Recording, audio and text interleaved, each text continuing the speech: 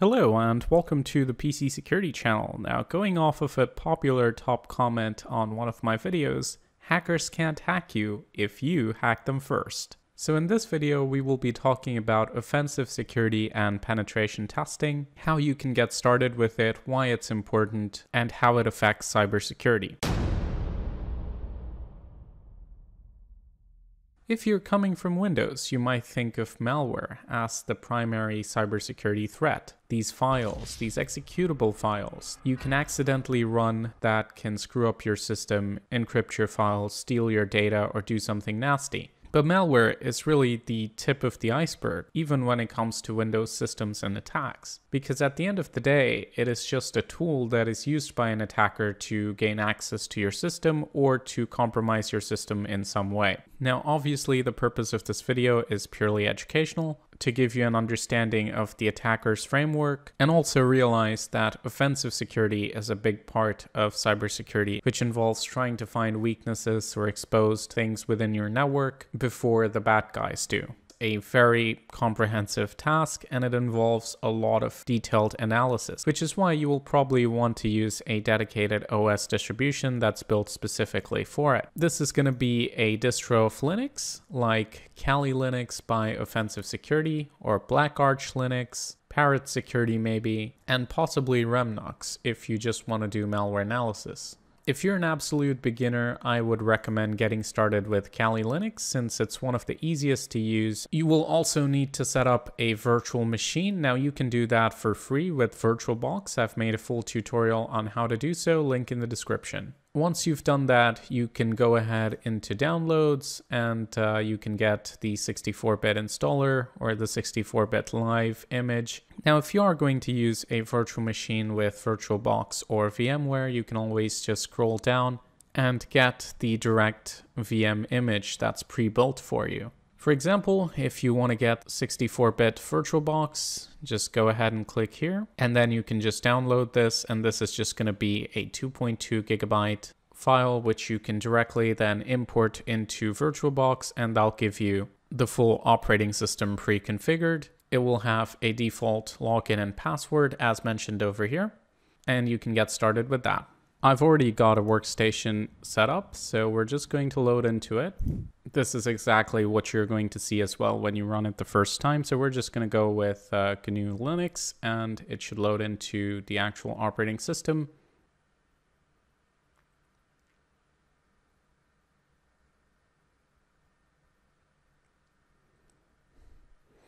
And as you can see, now we have login, so we'll just enter the credentials from the website.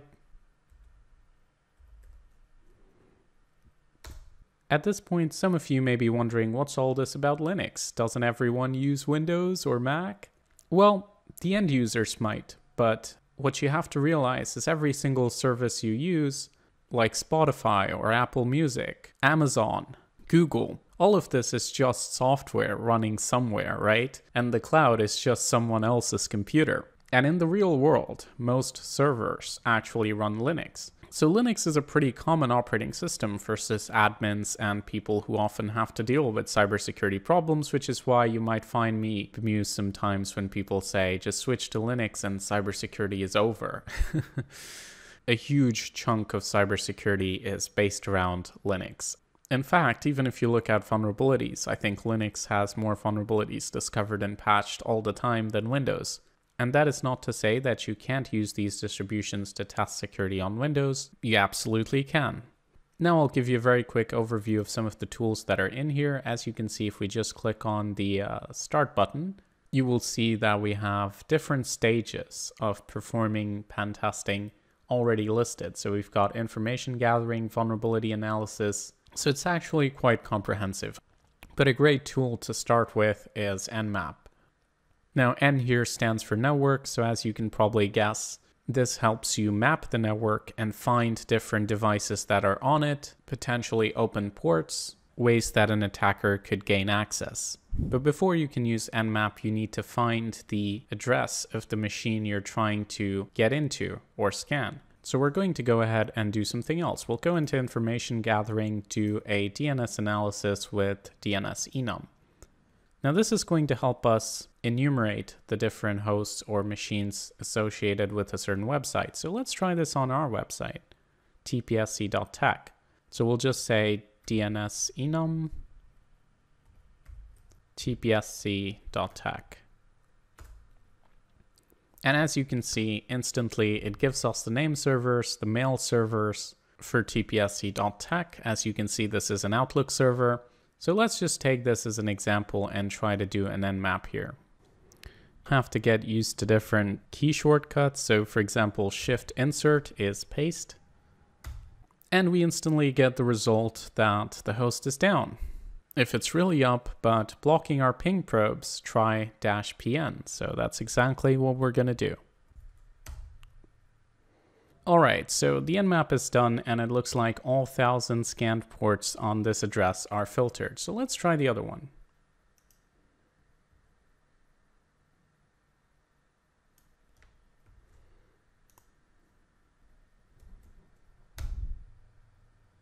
Alright, so the scan is done again and this time there are 999 filtered ports, but we came across one open port, which is 53 TCP. And this is perfectly normal as well for a domain. But sometimes finding an open port where it shouldn't be could be valuable information from a pen testing standpoint. But of course, this is just the first step. Next, you probably want to do some vulnerability analysis, try to find what information you can gain, check if the open port can actually be exploited, and then you can also evaluate the type of damage that you could do, including a potential malware attack. Now, something to keep in note here is that you should never do this for public services because you don't want to intrude on people's privacy or security without their permission. And as it says when you open Kali Linux, with great power comes great responsibility. But there is a way to play with this stuff and learn offensive security without getting into trouble or causing any. And that's where our partners for this video, Hack the Box, come in. Hack the Box is an educational platform that has gamified offensive security or hacking. And I would actually encourage all of you to try your skills here. And to do that, all you have to do is click on Join Now. And guess what? That is a challenge in itself. You can't sign up without the invite code. And to get the invite code, you have to hack into this page and find it. This is very similar to the CTF or reverse engineering challenges that we had on Discord. In security terms, CTF means capturing a flag. It's like solving a puzzle to get to the next stage. In this case, the puzzle is finding the invite code. But where do you get started? Um, maybe you want some help, so then you can click here. So to start off, you could do something like press F12 on Chrome, and this is going to give you the details for the page, the actual HTML code.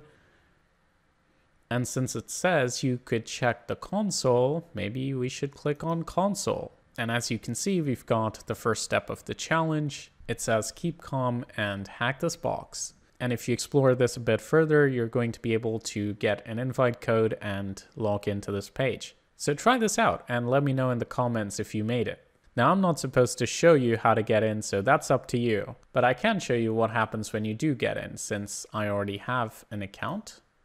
Once you're logged in at app.hackthebox.eu, you're ready to start playing machines and challenges. Now there's two ways you can connect to get started. If you go over to the top right and click on connection settings, you will see OpenVPN or Pwnbox. OpenVPN allows you to connect to the Hack the Box machines using direct VPN access, which means you'll be using your own system to connect to these machines and trying to hack them. You can just go ahead and select a lab from here, depending on your region, and then you can go ahead and select one of the servers.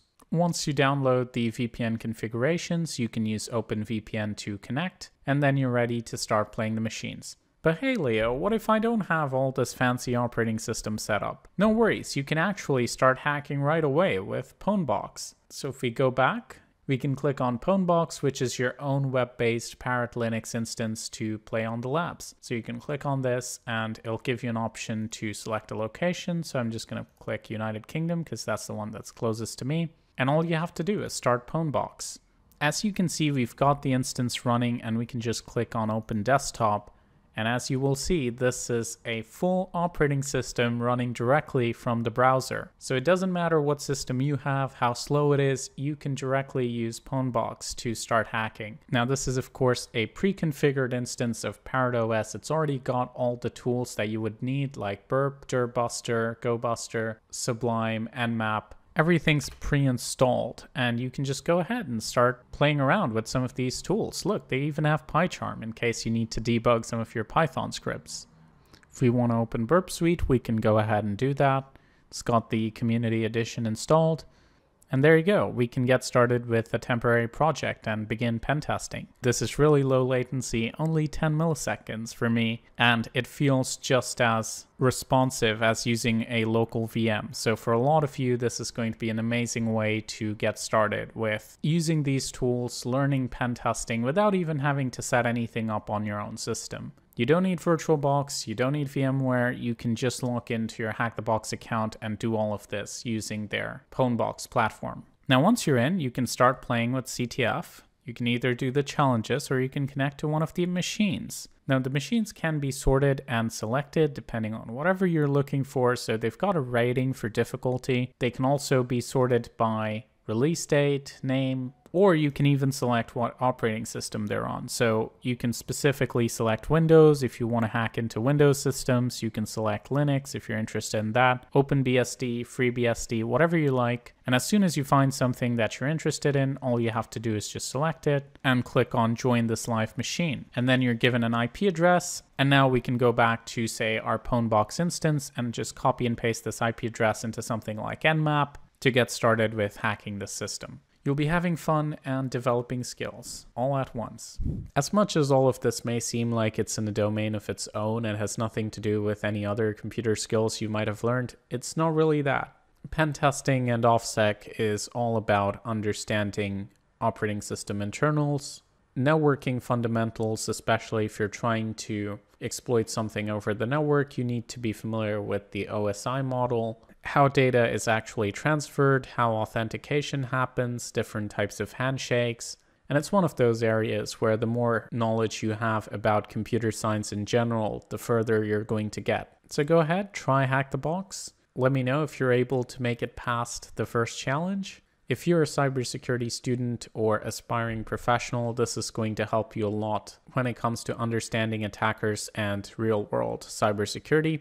If you're a regular user, hopefully this gives you some insight as to how an attack happens or where it originates and why you need to take security seriously, because at the end of the day, it's not just about malware. Malware is just the last stage of the process that you see on your system. With many attacks, the main part of the process is actually gaining access to your system before deploying the malware and a motivated attacker can easily exploit vulnerabilities within your system or your network to do so. So again, for those of you who ask, if I only click on these websites and I only download these files, can I still get malware? The answer is almost certainly yes, if you have a motivated attacker after you.